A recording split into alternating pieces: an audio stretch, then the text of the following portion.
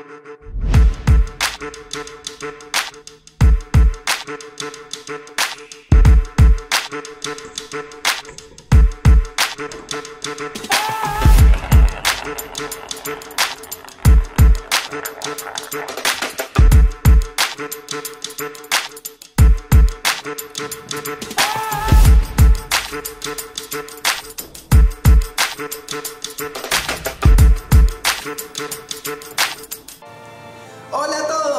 Estoy muy feliz de acompañarlos un domingo más.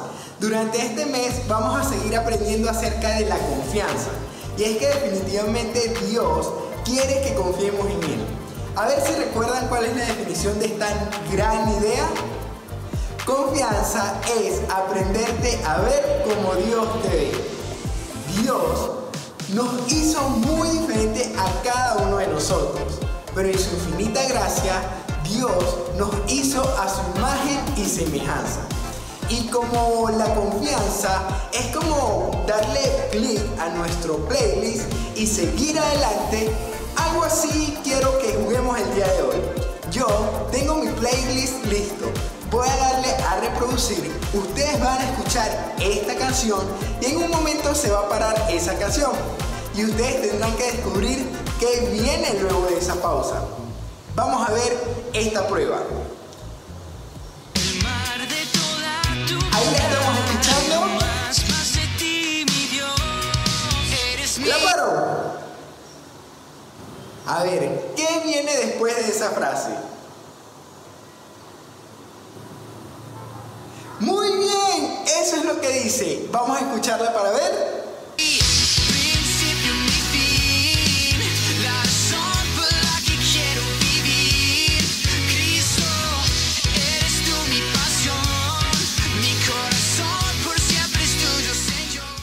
Vamos con otra. Le doy clic a mi playlist y ustedes van a escuchar. Nada es imposible. ¿Listo? ¿Qué viene? Exactamente. Esta frase dice, no voy a vivir por lo que veo. Eso es confiar en Dios. Vamos con otra frase y otra canción.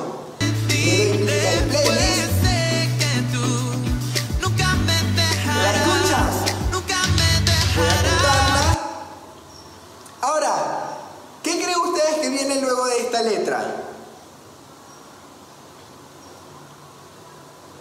Esta canción me recuerda el amor de Dios. Vamos a escucharla.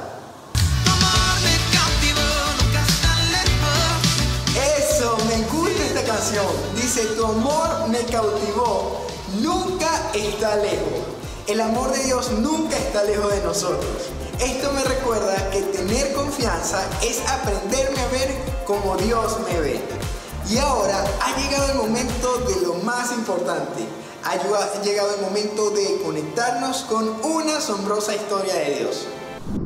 La historia de hoy tuvo lugar hace mucho tiempo en una tierra llamada Babilonia. El rey de Babilonia en ese momento se llamaba Nabucodonosor y era del tipo de persona de hacerlo en grande o irse a casa. Y por hacerlo en grande, quiero decir que mandó hacer una enorme estatua de oro. La estatua medía 90 pies, que es como 27 metros de altura, casi como un edificio gigante de oficinas. Era demasiado grande. El rey mandó instalar la estatua cerca de la ciudad en la amplia llanura de Dura. Invitó a todos sus funcionarios reales a asistir a una reunión especial para honrar la estatua. Y entre ellos había tres hombres judíos que habían sido llevados cautivos a Babilonia. Estos eran Sadrach, Mesach y Abednego. Los tres amigos llegaron a la llanura de Dura, donde todos los demás funcionarios se habían reunido frente a la estatua hecha por el rey. Luego de esto, llegó un mensajero y este entregó una orden del rey. Cada vez que la multitud escuchara el sonido de ese sonido de cuernos, flautas, cítaras, liras, arpas y gaitas, todos debían inclinarse y adorar a la estatua de oro. El mensajero dijo que cada vez que las personas escucharan el sonido de sonido de cuernos, de flautas, de cítaras, de liras, de arpas y de gaitas, todos tenían que inclinarse y adorar a la estatua de oro hecha por el rey Nabucodonosor. Si no lo hacían, serían arrojados a un horno en llamas. Imagínense esa muerte tan fuerte, muchachos. Poco después, la música comenzó a sonar. Podías escuchar el sonido de Ese sonido de cuernos, de flautas, de cítaras, de liras, de arpas y de gaitas, todos y cada uno de los funcionarios se postraron al suelo, excepto Sadrach, Mesach y Abednego. Varios de los oficiales notaron que ellos como que no se estaban inclinando y fueron de una vez a contarle todo esto al rey Nabucodonosor. Los hombres dijeron, que viva su majestad por siempre.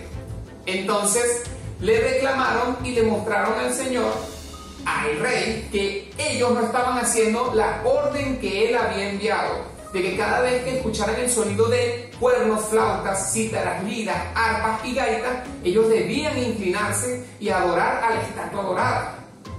Y estos tres hombres lamentablemente no lo estaban haciendo y tenían que pagar por esto.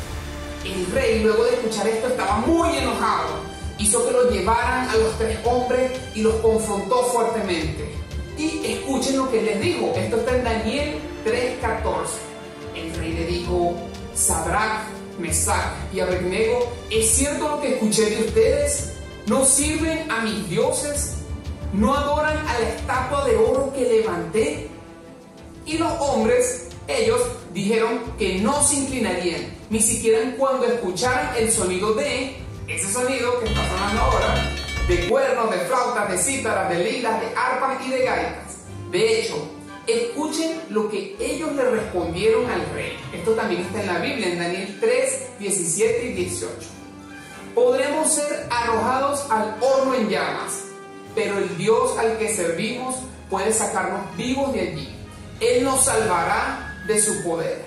Pero queremos que sepas esto, Su Majestad aunque supiéramos que nuestro Dios no nos salvará, aún así no serviríamos a tus dioses, no adoraríamos a la estatua de oro que pusiste. Y el rey Nabucodonosor estaba tan furioso que de hecho envió a que el horno le subiera siete veces más de lo habitual su calor. Le dijo a alguno de sus soldados más fuertes que los ataran y que los arrojaran al horno y se dispuso a verlos morir. Pero de repente el rey se levantó de un salto y no solo vio a tres hombres en el fuego. Dice la Biblia en Daniel 3:25 que el rey dijo, miren, veo a cuatro hombres caminando en el fuego. No están atados y el fuego ni siquiera los ha dañado.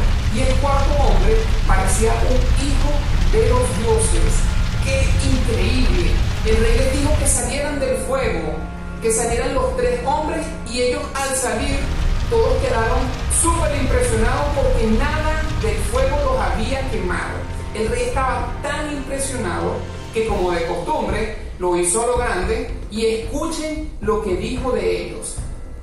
El rey dijo con una voz muy fuerte, alabado sea el Dios de estos jóvenes, que envió a su ángel y los salvó.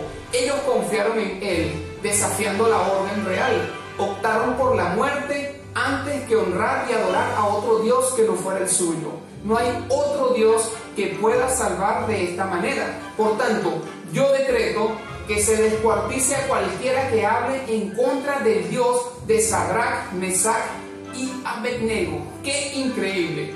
El rey incluso llegó a darles posiciones más importantes en el reino de las que ellos tenían. Y todo esto sucedió porque no quisieron inclinarse ante la estatua cuando escucharon el sonido de ese sonido de cuernos, de flautas, de cítaras, de liras, de arpas y de gaita. Esta historia, muchachos, es increíble y estuvo excelente. Sadrach, Mesach y Abednego tenían mucha confianza ¿No es así? ¿No lo creen? Defendieron lo que creían, aun cuando sabían que estaban en gran peligro, sabían que podían ser fuertes, sabían que tenían la certeza de que Dios estaba con ellos. Pueden tener confianza por la misma razón. Así que nunca olviden que tú puedes confiar en que Dios siempre está contigo. Así que vamos a repetir esto. Puedes confiar en que Dios siempre está contigo en cualquier lugar donde te encuentres. Así que ahora vamos a orar y a darle gracias a Dios por esto. Querido Dios, Gracias porque nos bendices, gracias porque nos habla a través de esta historia de Sadrach, de Mesach y Abednego, Señor, porque nos muestra que podemos confiar en ti a pesar de cualquier circunstancia que se nos presente. Te damos gracias por todo esto y ayúdanos a seguir adelante confiando siempre y cada día en ti, en el nombre de Jesús. Amém.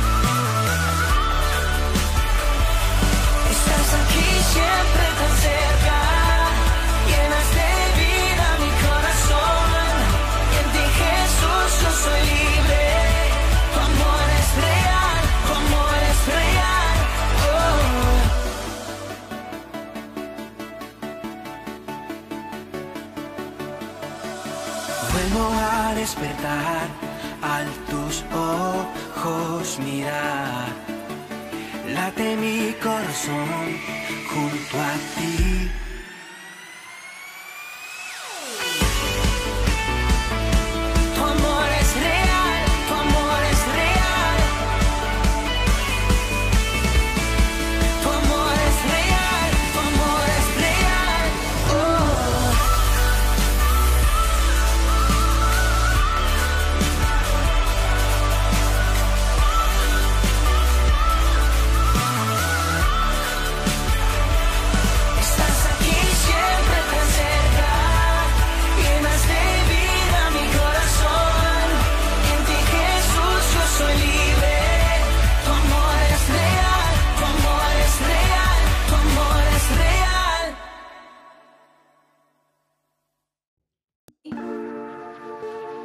Espero que hayas disfrutado esta enseñanza el día de hoy.